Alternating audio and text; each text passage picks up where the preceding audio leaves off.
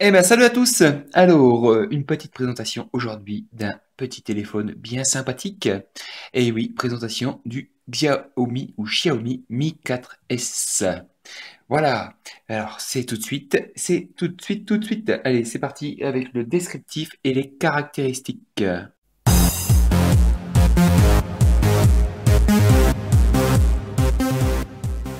Alors, descriptif et caractéristiques. Ben, on va commencer par la boîte. Donc voilà, hein, donc euh, toujours le nouveau standard euh, des boîtes Xiaomi avec euh, le dessin, enfin la photo du téléphone sur la boîte. Voilà, hop. Donc bah, les caractéristiques du téléphone hein, que vous retrouvez sur la boîte. Voilà, c'est ça, on va faire vite le tour. Hein. On va pas s'embêter avec ça. Donc ici, il y a le téléphone à la base dedans. On retrouve un petit fascicule tout en chinois, bien sûr. Le Mi 4S est fabriqué pour la Chine. On verra s'il aura une, une globale par la suite ou pas. Voilà, avec le, petit euh, bitonio, le petit trombone pour euh, ouvrir le tiroir des cartes SIM. Un câble USB type C. Voilà, que je vais pas déballer, hein, j'en ai d'autres, donc euh, comme ça, ça sera pour le compilateur de la ROM Monsieur Face qui va récupérer ce téléphone. Et le chargeur, bien sûr, USB.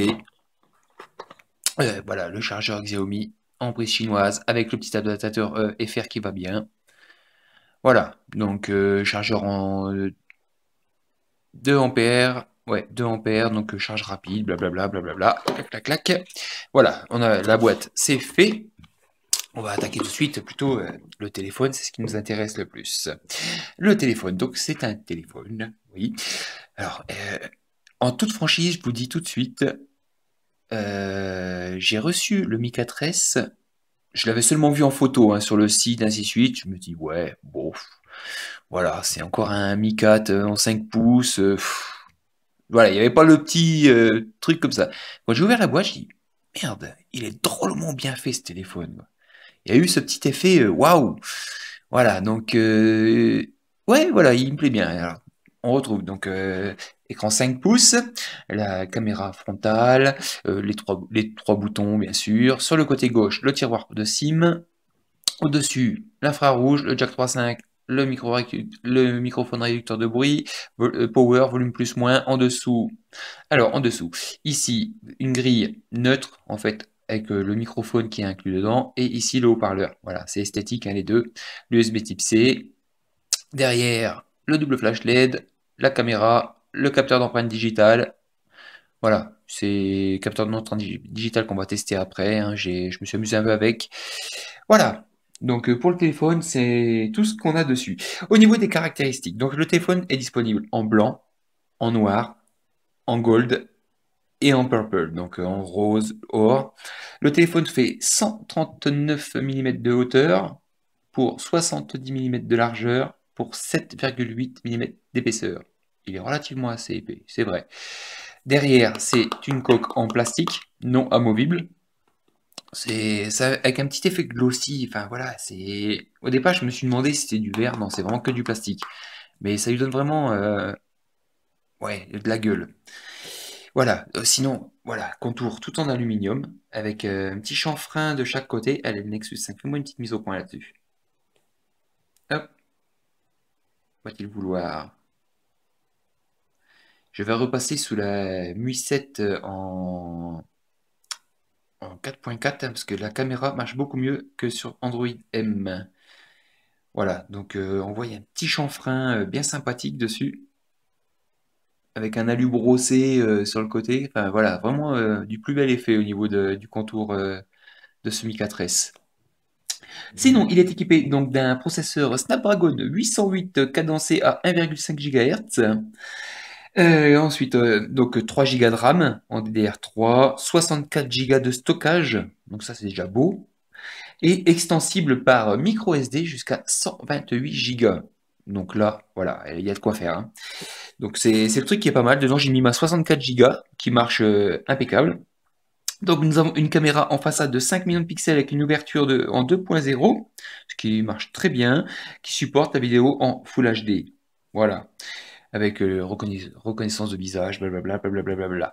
Et là, nous avons une caméra de 13 millions de pixels, pareil, en 2.0, avec, euh, c'est le processeur image de Qualcomm qui est dedans, avec, donc, euh, vidéo en Full HD et le slow motion en 120 fps par seconde. Donc voilà, et c'est un de ses points forts, c'est justement sa caméra qui fonctionne vraiment très bien. Bien sûr, ça n'égale pas les très très haut de gamme comme le Mi 5 ou le Mi Note Pro qui ont des stabilisateurs optiques, blablabla, blablabla, mais vraiment très bon au niveau de la caméra. Au niveau des bandes fréquences, alors 3G, full 3G, 4G, il manque la 800, comme euh, tous les téléphones chez Xiaomi. Après, c'est dérangeant et c'est pas dérangeant. La bande 800 MHz, c'est la bande euh, dite de pénétration, entre guillemets. Euh, donc, ce qui veut dire que quand vous serez à l'intérieur des bâtiments, par exemple, eh ben, vous serez en H+, ce qui suffit largement pour l'utilisation des téléphones. Donc, pour moi, c'est vraiment pas un frein, cette 800 MHz. C'est voilà, juste le petit plus mais bon, voilà.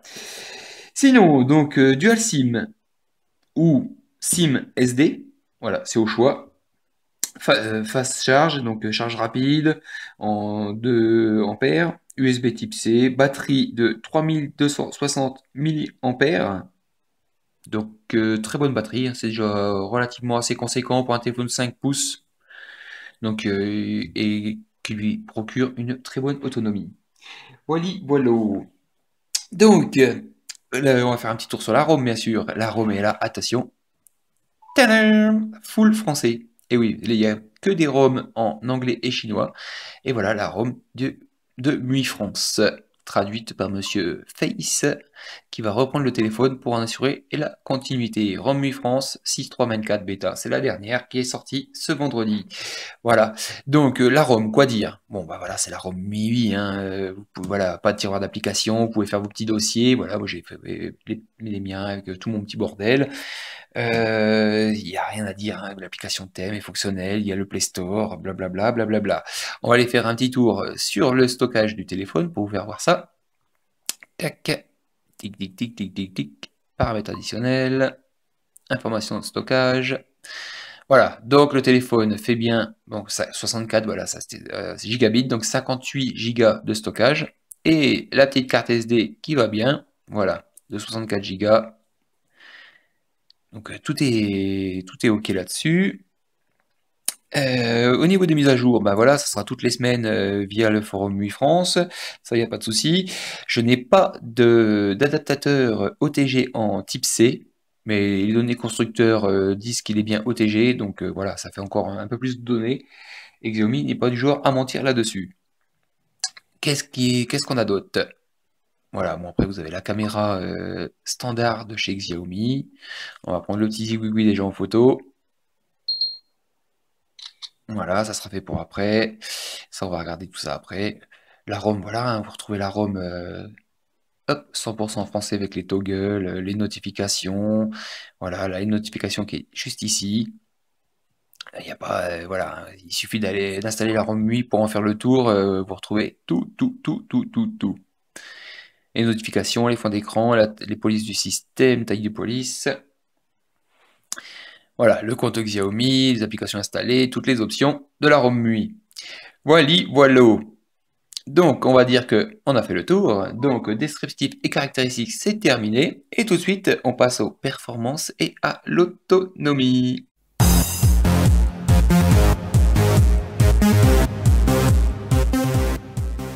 Alors, les performances et l'autonomie. Bah, comme d'habitude, un petit test euh, en toutou. Voilà, qui est dans la galerie, qui est juste là. Tac. Hop, screenshot. Alors, parce que j'ai ceux du Mi 5 aussi dessus. Voilà, non, c'est ici. Quick Alors, un beau petit score. Voilà, pour un Snapdragon 808 de 67 405 points voilà, sans forcer, il est réglé euh, en, utilisation standard, 67 000 points. Voilà, ça vous fait tout tourner, il hein, n'y a, pas, a pas à discuter. Hein. Il n'y a pas besoin d'avoir euh, les 130 000 du Mi 5 pour se dire, ouais, c'est moi qui est la plus grosse. Voilà, ce processeur est capable de faire tourner tout ce que vous avez besoin sur un téléphone. Voilà, oui, voilà. Donc, pour le tout c'est fait. Euh, pour le GPS, alors le GPS, le voici. Donc euh, premier fixe en 5 secondes 63. Et voilà, après ça passe dans le vert. Hein. J'ai roulé bah, 3 jours pour aller au boulot avec en utilisant le GPS tous les jours. En montagne, en pleine campagne ou en ville. Voilà, j'ai jamais eu euh, un décrochage, euh, m'a toujours amené à destination. Donc euh, là-dessus, avec Maps et avec Psygic.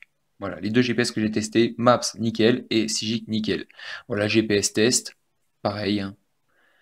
18 euh, satellites dans la vue, bah, voilà, le GPS, c'est du Snapdragon, hein. Snapdragon, il n'y a pas, a pas à dire, ça fonctionne. Donc, au niveau du test de la 4G, voilà, alors là j'étais en H+. Ça, c'est dans ma campagne profonde, dans mon hangar, je te capte que la H+. Voilà, donc là, c'était complètement merdique.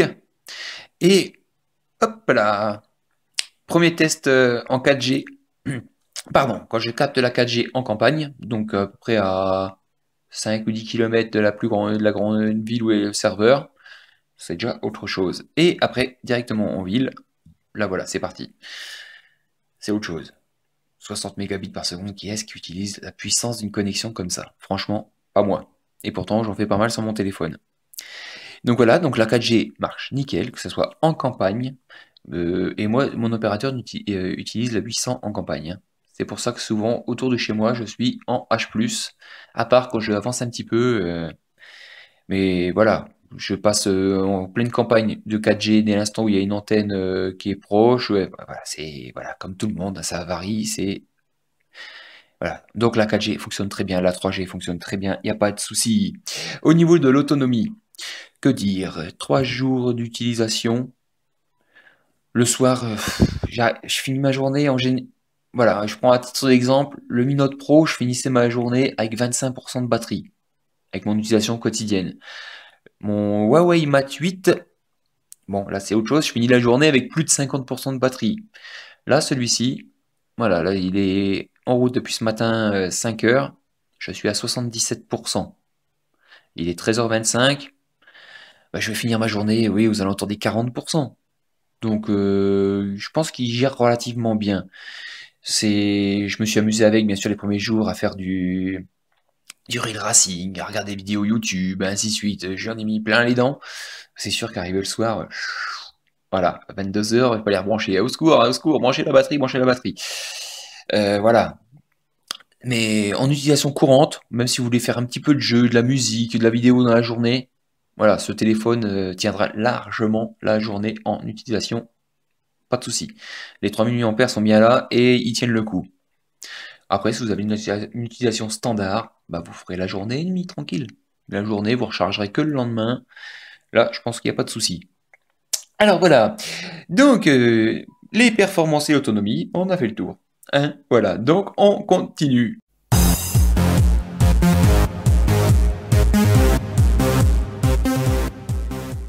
Le multimédia et jeu. Multimédia et jeu, eh ben, on va commencer par l'appareil photo. Voilà, l'appareil photo. Donc standard Xiaomi, hein, et euh, euh, par ici vous avez tous les filtres en glissant sur la droite. On va glisser à gauche où vous retrouvez tous les paramètres, panorama, le retardateur, la prise d'audio, la euh, manuel c'est pour voilà tous les focus ainsi que pour tous les réglages manuels. Quittez le mode manuel. L'alignement, l'apparence, crépuscule, maquette, œil de poisson. Et on va aller faire un tour dans les paramètres, enregistrer la localisation, son de la caméra, sauvegarde de la carte SD. À tous les connaisseurs de la ROM voilà, ouais, c'est les appareils photo sont vraiment, enfin, la- l'appareil, l'appareil photo est vraiment complète, quoi. Vous avez full option. Afficher le redatage, afficher le quadrillage, scanner euh, un QR code, blablabla, blablabla. Format de l'image 4 tiers, on peut passer en 16 neuvième. Qualité de l'image très fine. Donc là, vous êtes vraiment au plus haut de la résolution. Afficher l'âge et le sexe des personnes, le bouton volume pour prendre des, des, soit le zoom ou bien de prendre des clichés. Le contraste, voilà, vous avez vraiment tout. On va passer en mode caméra.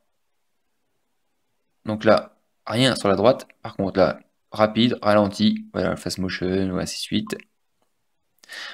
Euh, de la caméra, voilà, vous avez euh, donc HD, on peut passer en Full HD, retardateur à intervalle 12 secondes, donc voilà, vous pouvez régler euh, le retardateur, bouton volume, blablabla, voilà, vous avez toutes les options.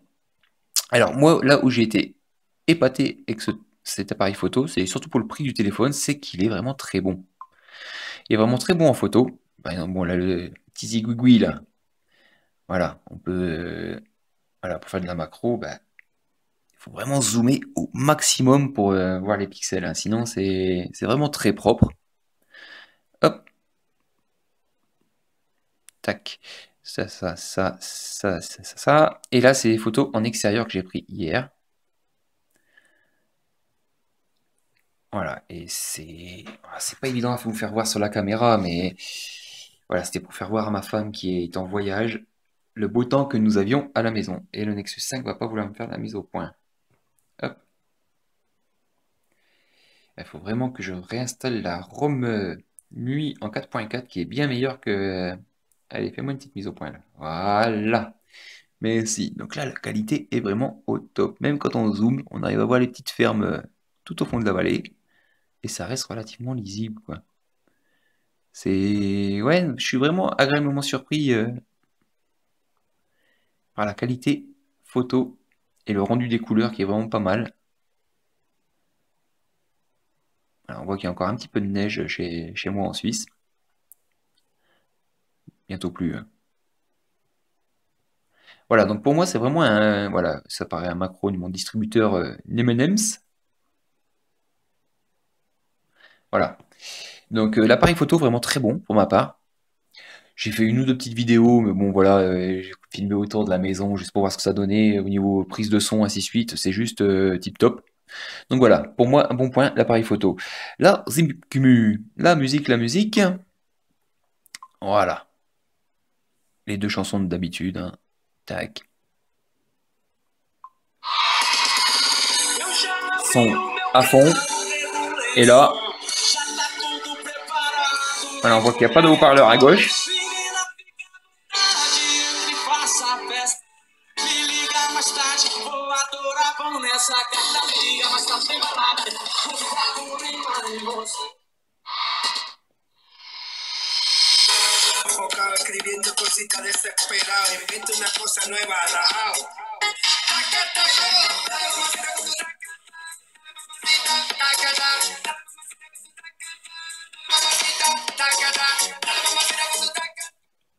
Alors j'aurais qu'une chose à dire. Bah voilà, qualité Xiaomi. Euh, c'est bon, c'est pas criard. Il y, a de la, y a de la basse, le son est propre. le haut-parleur crache relativement bien. Donc là-dessus, vraiment, rien à dire. Musique, c'est juste bien. Il y a toujours mieux, mais c'est vraiment bien. Ça, je peux pas dire le contraire. Allez, on continue maintenant avec les petites vidéos euh, Full HD. Mi Vidéo. L'application native de Mi qui... Euh, quoi? Hop, ignoré. On passe sur le petit bonhomme là-haut pour aller chercher les vidéos en ligne. Local vidéo. Et voilà, 720p et 1080p.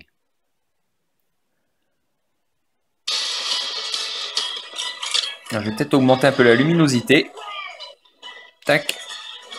Voilà, ça sera mieux pour la vidéo. Et là, 720p.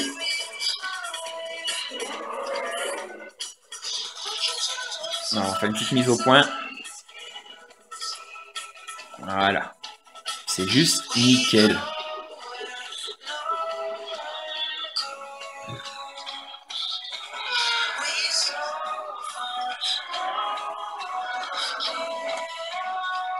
Top, c'est top. Franchement, c'est le son est super bon. Allez, on va se tester le 1080p.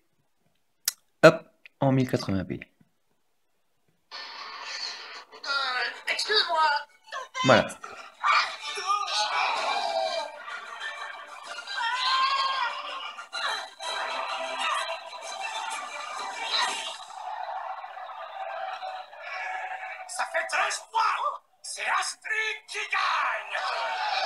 Nickel Franchement, c'est top, quoi.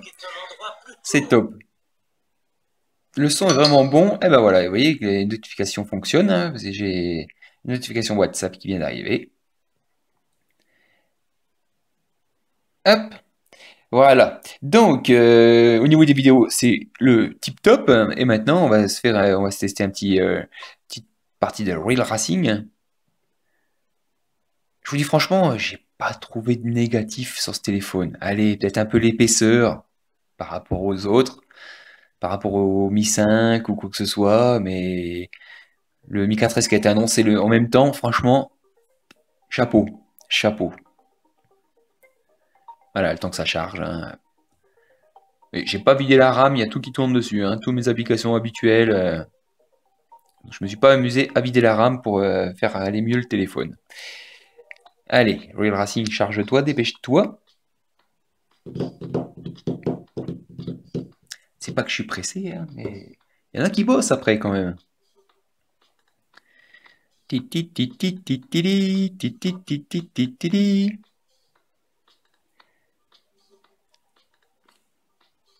Allez. Tac, tac. Tac. Oui, ah.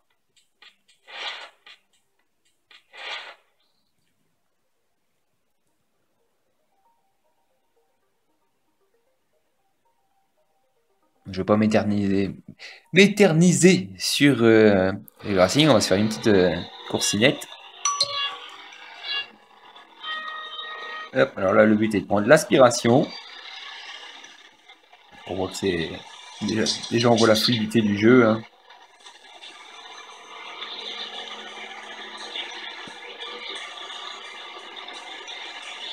Je me suis planté. Et voilà, échec de l'objectif.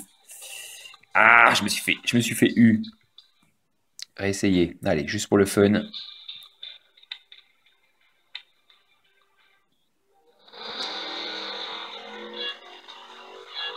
Pas évident avec la caméra juste devant les yeux.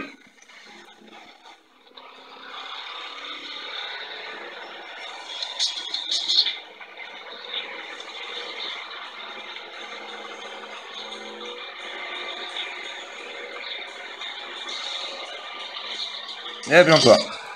Bon, voilà, j'arrive pas là. Mais bon, on voit que c'est fluide, hein, le jeu marche vraiment très bien là-dessus, donc euh, là-dessus, rien à dire, rien à dire, rien à dire, rien à dire, rien à dire. Hop là. Alors, on va libérer un peu de RAM. Tac, on va fermer le jeu. Clic. Vous voyez qu'il y a quand même euh, une tripotée de trucs qui tournent. Hein. Voilà. Alors, Maintenant, bon bah voilà, multimédia et on a fait le tour. Hein. moi, j'ai rien à lui reprocher. j'ai rien du tout à lui reprocher là-dessus. C'est voilà quoi. Donc, ben maintenant, on va passer euh, à une petite euh, conclusion, les points positifs, les points négatifs, ainsi de suite. Et ensuite, un petit comparatif visuel avec les autres téléphones Xiaomi que j'ai en ma possession. Allez, c'est parti tout de suite pour les plus, les moins et la conclusion.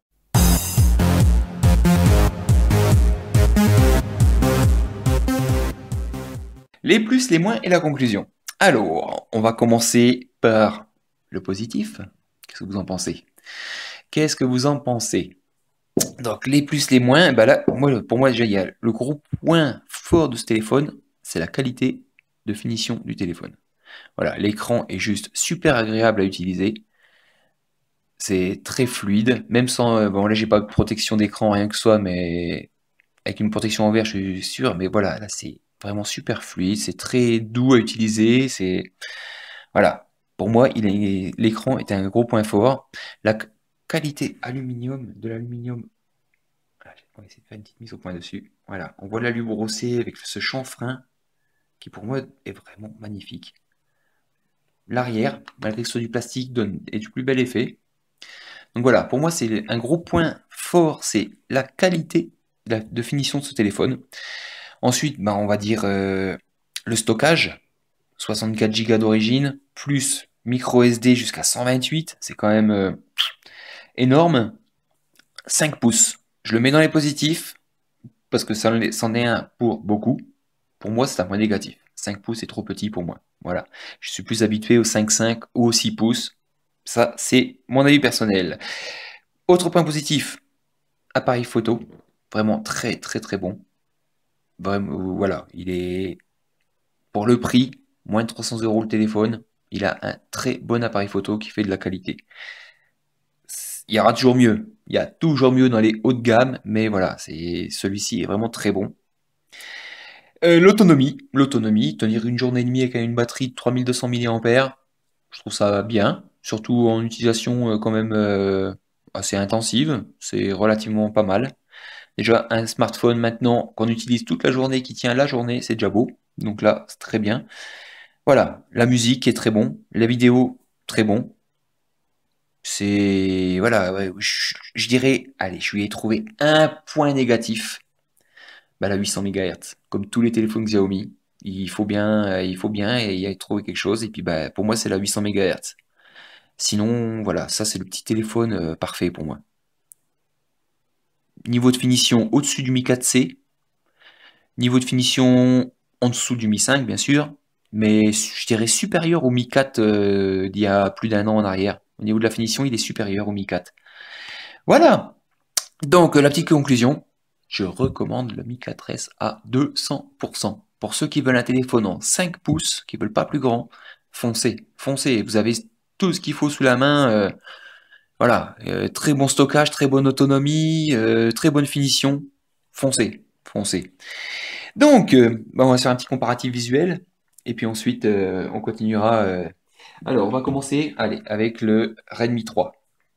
Le Redmi 3, qui est aussi un téléphone 5 pouces. Voilà. Ils sont très ressemblants. Hein. Ils sont très ressemblants. La seule chose, c'est que bon, le Redmi 3 a un peu moins de stockage. Et full métal. Après, on aime ou on n'aime pas. Personnellement, c'est toujours mon avis personnel. Je préfère l'âge aux finitions, je préfère le Mi 4S. Voilà, ça fait plus euh, haut de gamme.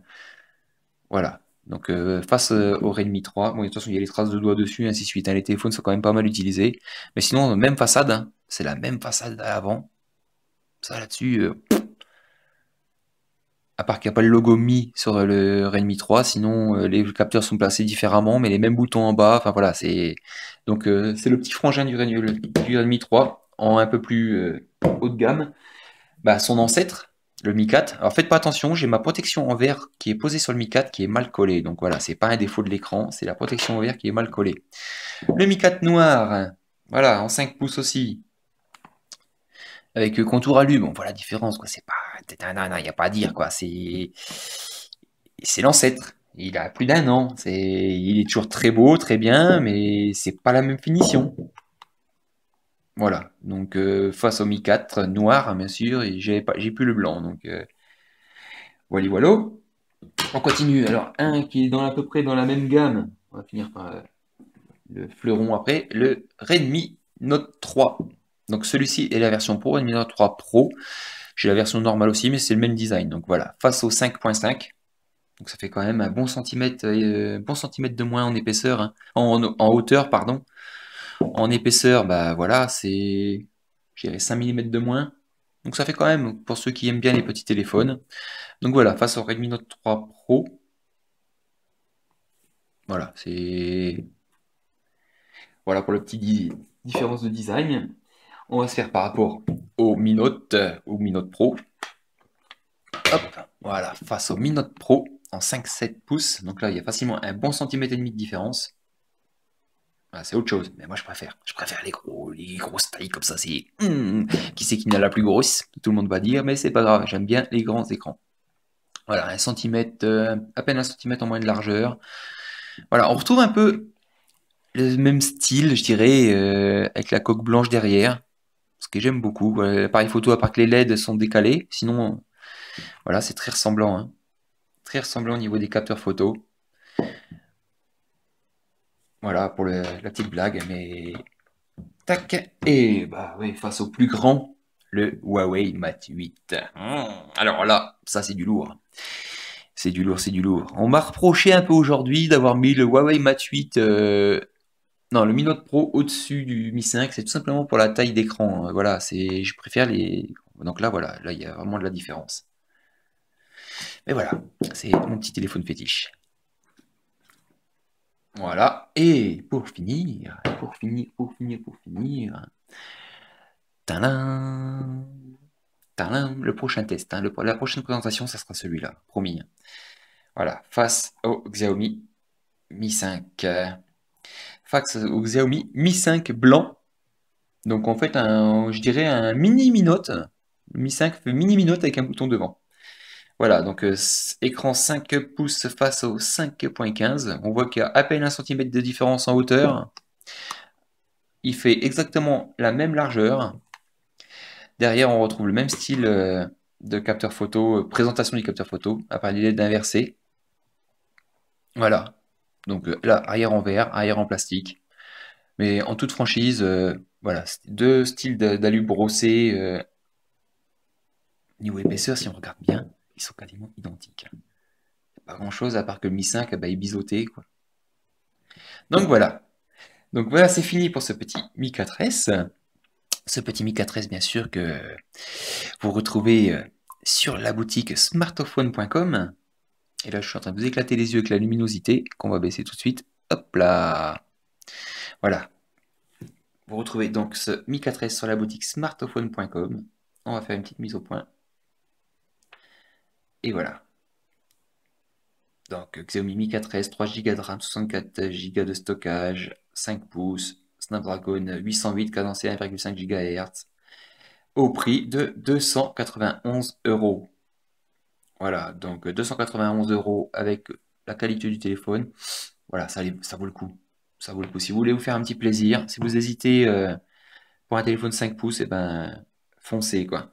Smartphone.com et vous trouvez tous les téléphones Xiaomi que vous aimez, livrables rapidement. En général, les expéditions sont faites dans les 48 heures. C'est livré en maximum allez, 3 à 5 jours euh, par DHL.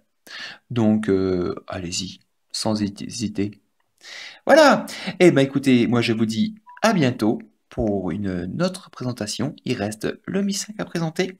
Il me reste la Mi Pad 2 en Windows 10 et le Redmi Note 3 Pro que vous avez vu qui est aussi en petit cours de test.